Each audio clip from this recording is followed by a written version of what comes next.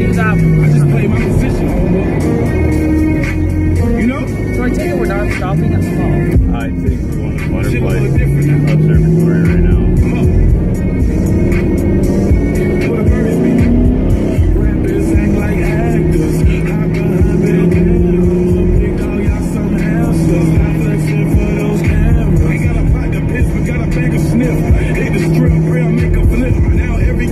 the 25th, buying Christmas gifts for my mom.